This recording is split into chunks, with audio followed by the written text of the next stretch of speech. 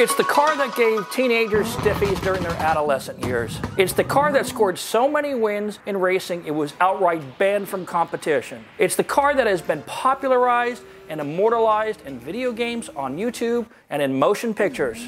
What car am I talking about? It's the Nissan GTR. Today, I'm going to be comparing the legendary R34 GTR to its contemporary successor, the R35 GTR. So let's dig in. I consider myself lucky to be among the relatively small group of people who have owned both an R34 GTR and an R35 GTR here in the United States.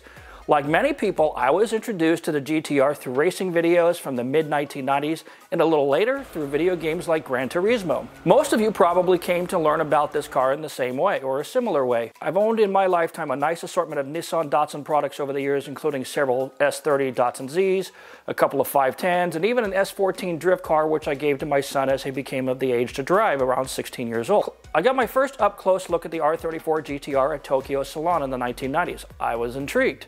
At that particular moment, though, I was in the midst of a Mark IV Supra build. I had just got my Supra back from Universal and was looking to start my next project. A GTR seemed to be the natural progression. By this time, I had struck up a friendship with Paul Walker since we both worked on the first movie. And so we both took a drive over to Motorex one day, which at the time was the only company in the United States bringing the cars into this country legally. Paul and I both liked the GTR. Paul had actually borrowed Motorex's Blackbird, this car, and drove it for a month or two. In the end, he bought a silver one, which left the Blackbird still up for sale.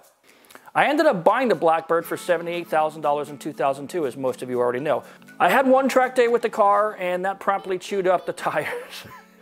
I went back to the track a couple weeks later and burned up what was left of the brake pads. Soon after that track day, I decided to turn the car into a show car for a while. In the spring of 2002, of course, Universal rented this car for, for use in Too Fast, Too Furious, and I won't go into that, that story's been told. And after the movie was done filming, I got an insane offer on the car and I sold it, so off it went, and it lives on the east coast of the United States right now. Since then, though, I've only driven three other R34s in my life. But from 2002 to 2014, I went through several high-end cars that might have been worth comparing to the R34, including two Lamborghini Diablos, a 98 SV, and an 01 6.0, a Porsche 996 twin turbo, an E46 M3, a CLK 55, an SL 600 uh, twin turbo V12, a 1,000 horsepower Supra, and a 2007 Audi RS4. And I'm only mentioning this to put my opinions on the R34 in perspective. In late 2014 though, I talked myself into picking up a 2015 GTR. My first impressions for were very favorable.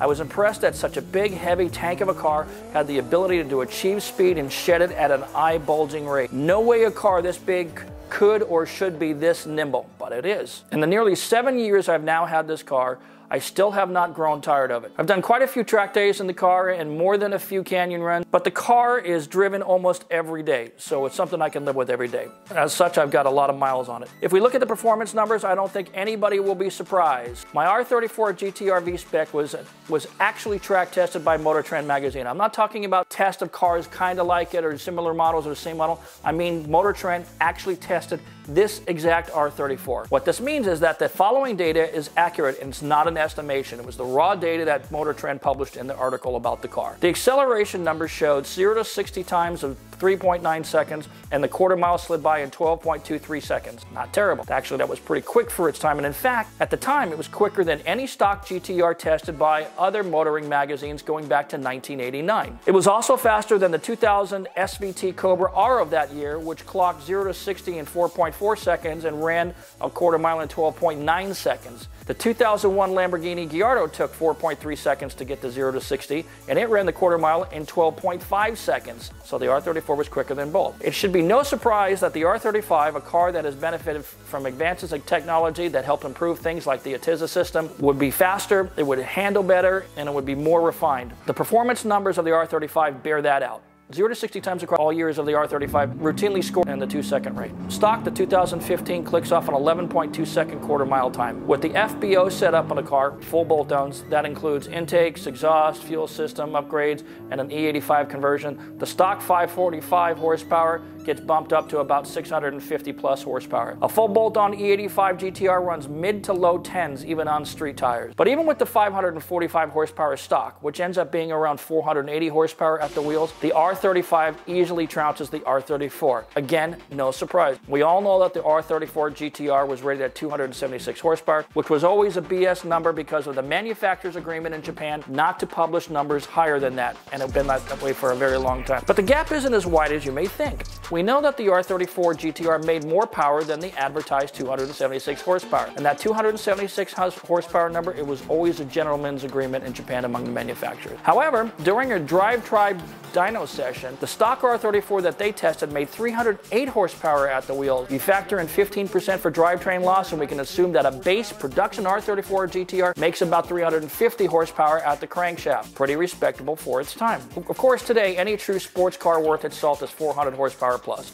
And the truly special cars are all up over 500 horsepower as of this writing. But horsepower isn't everything. Balance is important, right? The ease of driving fast is important to some as well. Then there are the intangibles, the little things that can't be measured with data, the subjective characteristics of the car that you may factor into your reason to purchase such a car. Case in point, being connected to the driving experience is something that a lot of fans enjoy, but does that mean your next sports car absolutely must have a manual gearbox? Or is a lightning fast DCT or PDK gearbox more to your liking? When it comes down to the driving experience, I can say that a six-speed manual gearbox is more fun, more engaging, and more work than a DCT or a PDK, obviously. But the R34 was more work to drive aggressively compared to the R35. The brakes can't match the R35s, but there was more feedback from the chassis, and the R35 seems to have more body roll. The R34 had decent power, but even back then, I felt it needed another 300 horsepower to truly excite me. Honestly, the R34 felt very much like the Evo 7 that I had driven when I was working on the set of Too Fast, Too Furious. This is one of my favorite roads. On this exact road, I did many runs with my R34. The ATTESA system of the R34 worked as advertised, but not so much that I'd pay $150,000 for that car with that technology today. The ATTESA system carries over to the new R35, but on the R35 it's far more advanced today. It's the ATTESA system in the R35 that accounts for the 0 to 60 times that are better than nearly every car under $400,000. The ATTESA system in the R35 is so good, people criticize the R35 by saying that it's just it's a car that drives itself. And having done track days with both cars, I can comfortably say that that is not the case.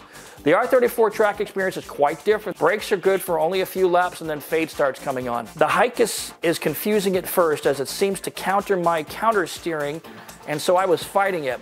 I would have removed it, honestly, if I still had the car. My R34 did most things well, but the 350 horsepower of my Blackbird felt barely adequate, even back in 2002. A quick look at, the specs of both cars tells the story more objectively. You take a look at the braking numbers. Uh, the R34 went from 60 to 0 in 120 feet. The R35 takes only 90 feet, goes 60 to 0. When you talk about the handling, well, we'll talk about the Nürburgring. Everybody talks about that. The R34's Nürburgring time was 7 minutes and 54 seconds versus the 2015 R35 GTR which ran it in 7 minutes and 13 seconds. The R34 pulled 0.98 on a skid pad, which is damn good for its time, and the R35 pulls 1.03 Gs on the skid pad. Again, nothing surprising. Top speed in the R34 does about 160 miles an hour. The R35 does 196 miles an hour. So by every objective measurement, the R35 is a better performing car. Again, I don't think anyone expected a different outcome. But which car is better? Well, the word better itself is a subjective term. Which is better, chocolate ice cream or strawberry ice cream? It depends on who you ask. Let's look at it this way. A new R35 is $120,000. My 2015 stickered for $109,000. Used R34 GTRs are commanding crazy prices right now. If you want to buy one of the 14 or 16 that are fully federally legal, you pay $250,000 plus. That's what they're going for. If you want to buy a black market GTR, it'll cost you about $150,000. Of course, black market cars are subject to seizure and crushing by the federal government. Although the feds haven't seized very many cars in the past couple of years, you still roll the dice if you buy one. If you get caught with it and the feds want to make a stink about it, the car is gone. There's nothing you can do. You can also pre-buy an R34 GTR by reserving one in Japan for delivery in 2024 when these cars will be legal to own here. Why are R34 so expensive? Supply and demand. Only 12,176 R34 GTRs were ever made. Figure that 20% of those cars have been crashed, harvested for parts, turned into race cars, burned in fires, destroyed in earthquakes, destroyed in tsunamis, or have been squirreled away in private collections, and that leaves maybe 9,000 total R34 GTRs available for sale to satisfy, to satisfy two decades of pent-up demand globally. At $150,000 or more, there are far, far better cars available performance-wise. You're into Porsche and McLaren territory at these prices for sure. You're into Nismo GTR prices. At $180,000, you're in Lamborghini Huracan territory, and let's be honest, the Huracan is a much better performer than the R34. Come on. At this point, we have to acknowledge the fact that for many, the real reason they want to buy an R34 is because it's the car they grew up wanting. I get it, it's human nature. Some stark realities you should know though. An R34 is not going to get you laid, in case you were wondering. It's not a chick magnet. An R34 probably won't get you the front row parking at valet unless it's a young person working there. An R34 won't beat many of today's street warriors, Hellcats, Mustang GTs, and Camaros will leave you in the dust stock for stock. Hell, a Kia Stinger might beat you.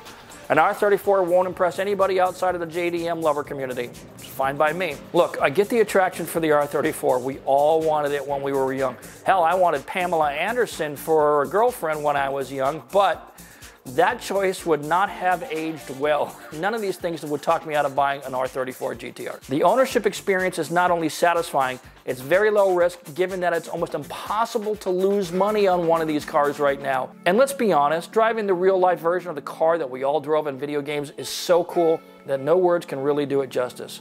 But honestly, time is running out. And in 2024, when the GTRs finally become legal for everyone here in the United States, there will be a rush to scoop up those few GTRs that still remain for sale. Prices for sure will climb to insane levels, like Bitcoin insane. So if you're serious about getting one, you better drop what you're doing and find a way quickly to come up with $150,000 in the next two years or they'll all be gone or priced out of your reach. So if you want to inquire about buying one now and storing it in Japan, contact Sean Morris over at importavehicle.com and have a discussion. That's going to be it for this episode, everybody. Thanks for watching. If you're enjoying my content, please don't forget to subscribe. Thanks again, everybody. We'll see you next time.